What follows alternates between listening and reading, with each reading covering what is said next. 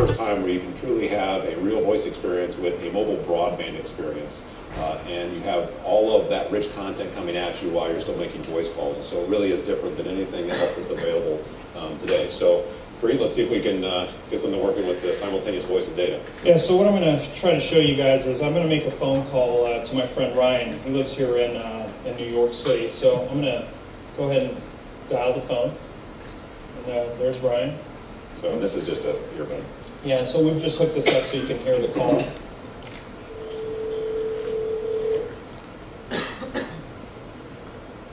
Hello? Hey Ryan, it's uh, Fareed and Kevin. How are you? Hey guys, how are you? Good. Hey, um, you know, I know this is kind of awkward. We're in the middle of this event, but uh, do you want to meet up for dinner later? You bet. Where do you want to meet? Uh, you know what? Uh, we don't know New York that well, but um, I'll tell you what. Uh, why don't we? Uh, well, you know what? We've got this book here. It's got a picture of a building. We don't know really what this picture is. Um, why don't I use my uh, Evo 4G and uh, let's let's try to figure out what this is. So uh, what I'm going to do is I'm going to go into uh, my Google goggles and uh, pretend for a second that uh, you have a friend named Ryan, and you want to figure out where this building is. This could be a poster that you've seen in a subway station. It could be a magazine cover. It could be a book. It could be a monument that you're actually taking a picture of. What Google Goggles does is actually a visual search engine uh, that uh, Google has stored a whole bunch of different visual pictures in their database, and it allows you to go and search against that database and return results. So, hey, Ryan, you still there? I'm here. Okay, so what I'm going to do is I'm going to take a picture with Google goggles of this building.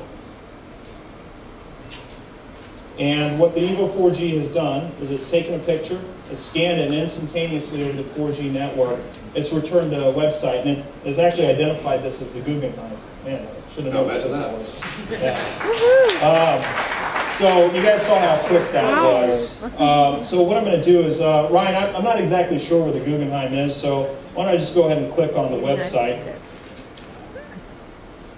And uh, what it's doing is it's loading the website over the 4G network. And one thing you'll notice is that uh, this is a pretty big website. It's got a lot of animation, a lot of graphics. Uh, just like on your desktop, you can you can scroll around.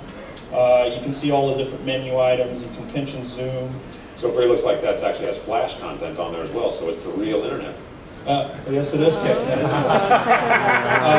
uh, you know what? We believe in the real internet experience, and that's what we're delivering with the Evo 4G. Uh, so the great thing is, uh, Ryan, I can actually tell you what the hours and uh, ticketing events are. Uh, you know what? It looks like we've missed uh, the uh, last time for uh, the exhibits there. So I thought you wanted to go to dinner. yeah, it's just dinner. Um, well, I guess what, uh, Ryan, we'll meet you in about 20 minutes once we're done with this shindig.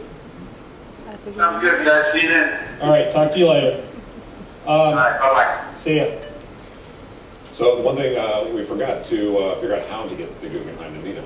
Yeah, that's a pretty good point, Kevin. Uh, you know, one thing we need to do is, um, you know, we need to figure out where the closest subway is because I bet that's probably the fastest way to get there. Yep. Uh, so what I'm going to do is I'm going to bring up my Layar reality browser. And for those of you who aren't familiar with Layar, what it is is it's an augmented reality browser. And what it does is it takes your GPS location and it uses the camera and the phone and it actually gives you visual overlays of where things are based on where you are. So uh, there's a filter in here for uh, the, the locus subway lines and where they're located at. But this could easily be other uh, filters that Layar has in here, like local restaurants, bars, whatever you may have uh, wanting to look for. So I'm going to go ahead and click on this.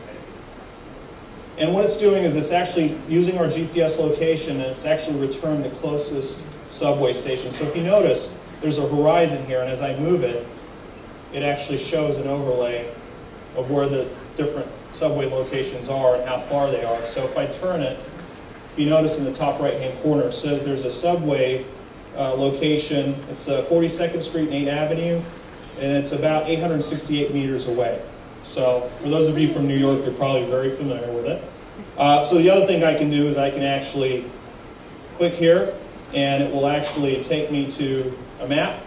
It will show me where I'm at and relative to that location.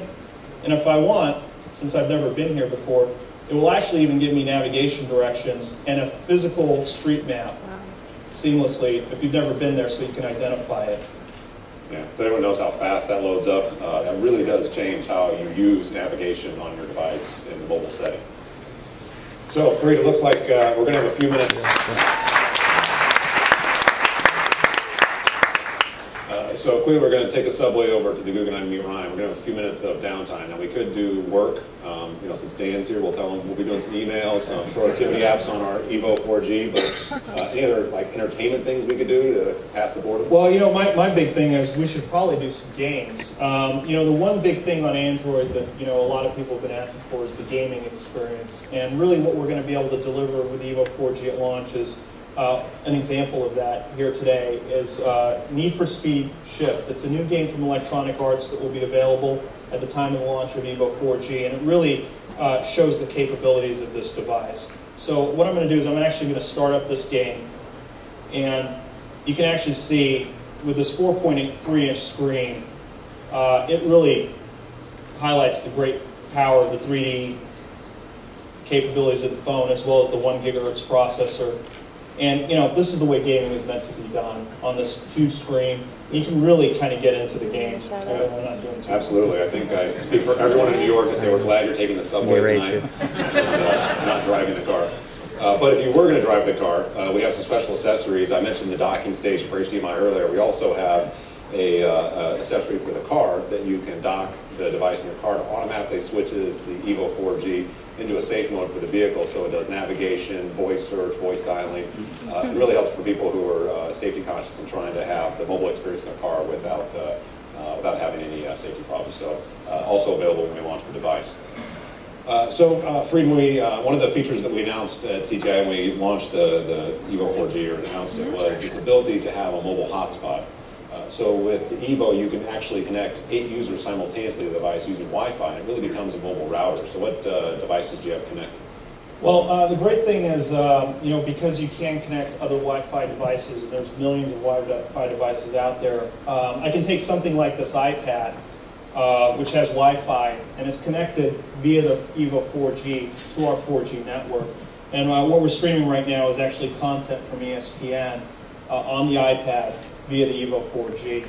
Um, at the same time of doing this, uh, we actually also um, have this picture frame here that uh, has is downloading high quality, high uh, big file size pictures from Snapfish over our 4G network via the Evo 4G, all at the same time. And then to the right here, you actually see a laptop that's actually streaming live security camera content from the Annapolis, Maryland Police Department uh, via the Evo 4G. So when you combine all of that together, you can have up to eight connections all using a single uh, mobile broadband uh, network. And uh, you know the Evo 4G is just that good, Kevin. It can power other devices. Um, you know, I would even probably say for a lot of you who have this phone, uh, it can even power uh, the iPhone 3G. Wow, that's amazing. So even here in New York, I could get a real signal and stay connected on my iPhone using the Evo 4G. Yeah, that's that's really how good the Evo 4G is. It's, uh, it takes care of the whole show. So. Oh, that's nice.